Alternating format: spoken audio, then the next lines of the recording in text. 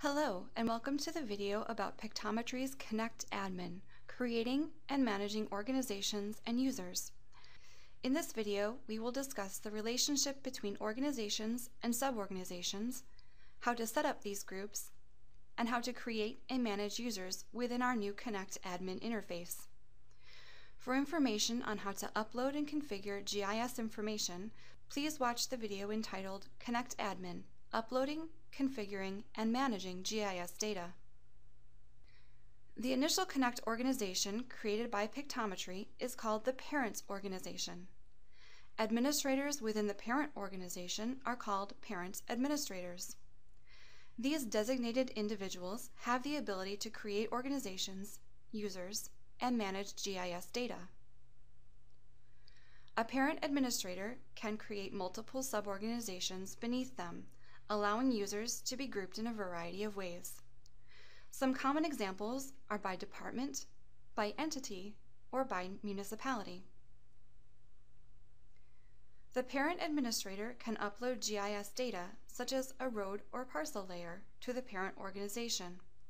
They can then publish that data to any or all suborganizations beneath them, thereby making that data available to any or all suborganizations. An administrator can then subscribe to that data on behalf of the suborganizations, making it visible to all of the suborganization's users. The parent administrator can also upload GIS data directly to a suborganization, making the layer visible to that group only. This may be ideal if there are layers that are applicable for one particular group or for layers containing sensitive information meant only to be seen by certain departments. Additionally, a suborganization administrator can be created who can manage users and the GIS data for that particular suborg. If a parent administrator chooses to have a suborganization administrator with GIS management permissions, the Enable GIS Configuration option must be selected. This video focuses on the administrative functions of a parent administrator.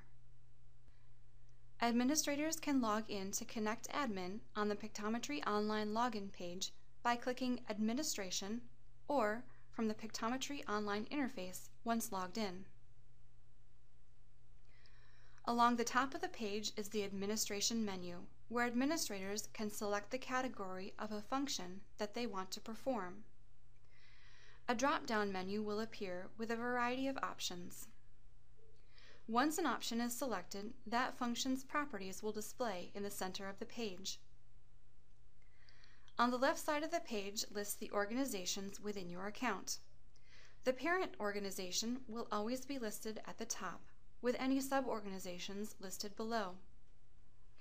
The administrator's username appears in the upper right-hand corner, and beside it lies a pull-down menu for help, feedback, and logging out. Upon initial login to the administration page, a summary of the selected organization is displayed. The summary displays the organization name, the organization ID, inactivity threshold, expiration date of the Connect account, and a handful of user information. The inactivity threshold is the number of minutes a user can remain logged in when not actively using the interface. After that time has expired, a user will have to log in again. The expiration date shows the date when the Connect account will expire.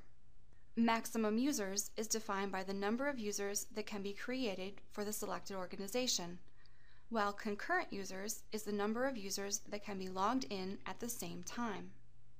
Active users indicates the total number of users created for that organization, while logged in users displays the number of users currently logged into Pictometry Connect. At any time, the administrator can view an organization summary or property page by clicking on Organization from the administrative menu and then selecting the appropriate option.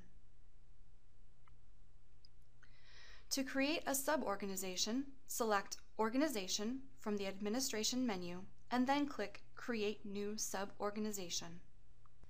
In the field marked Name, give the suborganization a name, such as City Police or Assessors. In the Features section, Enable GIS Configuration is checked by default.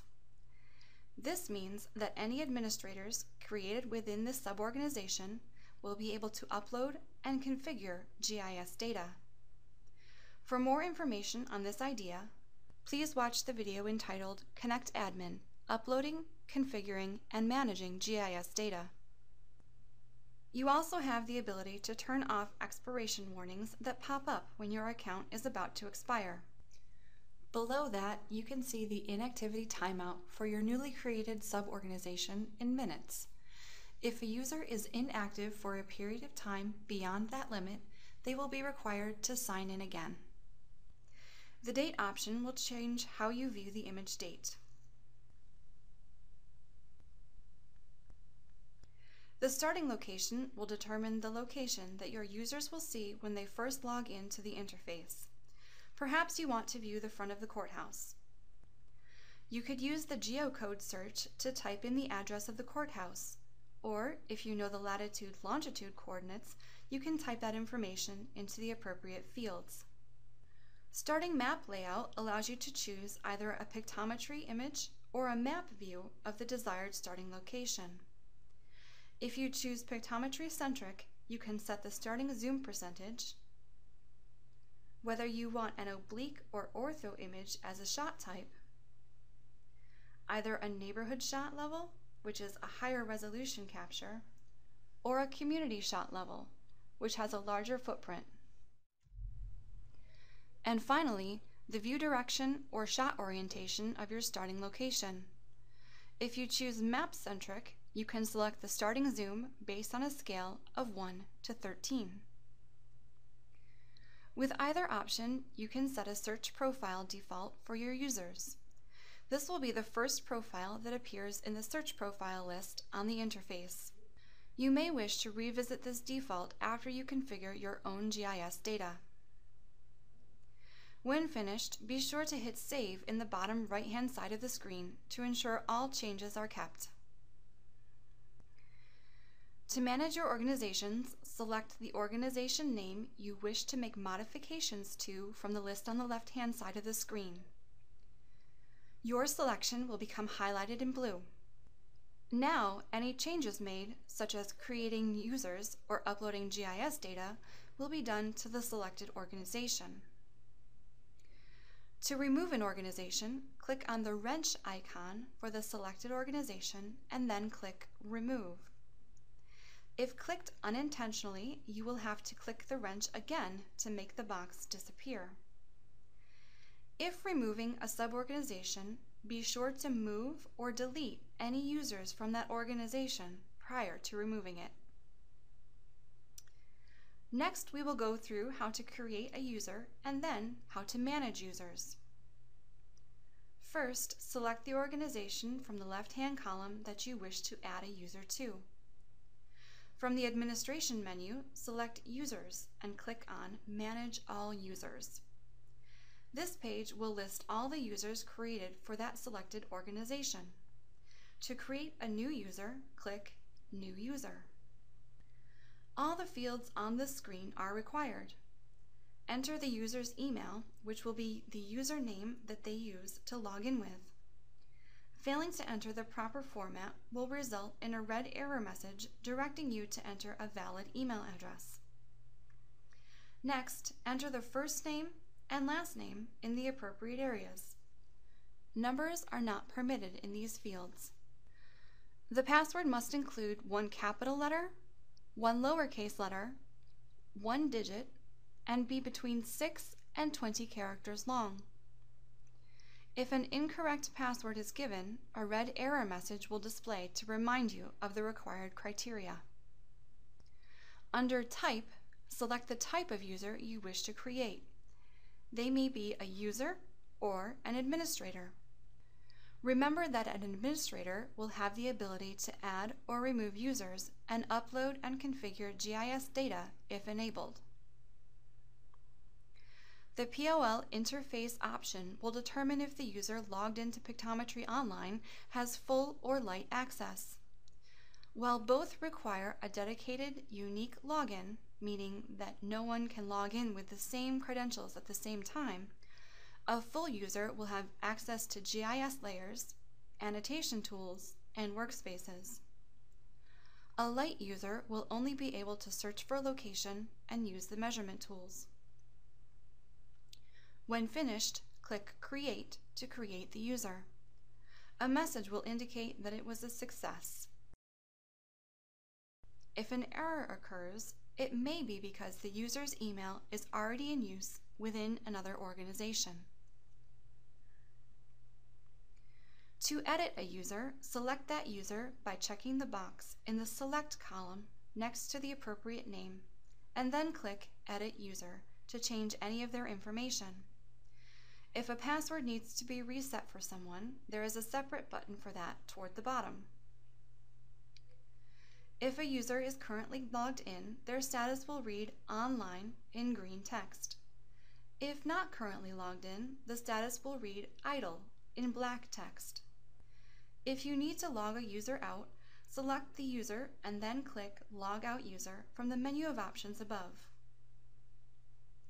To move a user or users to another organization, select the user or users and click Move. Select the organization you wish to move them to and click Move. Only a parent administrator can perform this function, as only a parent can view all the organizations within the account. To delete a user, select the user and click Delete. To disable or enable a user, select the user, then click the button labeled More, then Disable to deactivate the user, or Enable to make them active. A disabled user will not be able to log in to any Connect applications. When they are enabled again, they will be able to use the same login credentials and have access to any previously saved workspaces. You can view a user's login history over the last 60 days. To do this, select the user or users, click More, and then select Login History.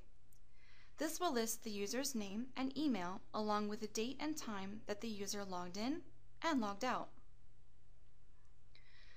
The number of users displayed on screen can be changed by changing the number of records per page. To quickly search for a user within an organization or suborganization, click inside the search bar and begin typing that user's name or email. The list will automatically filter to those fitting the typed criteria. If you are a parent administrator, you will also see a search bar in the upper right-hand corner of your screen. This allows parent administrators to search for users throughout the parent and suborganizations. This search option is not available for sub-organization administrators.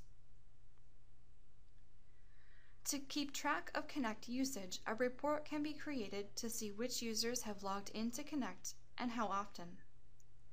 Select Reports from the administrative menu and click on General Usage Report. Select the date from which to start the report and the date to end the report. The report will generate based on the time frame selected. Select a desired report output type, such as PDF or CSV. Click View to display the report results within the page, or click Email to email the report directly to someone. If viewing the report directly on this page, we recommend only going back 30 days.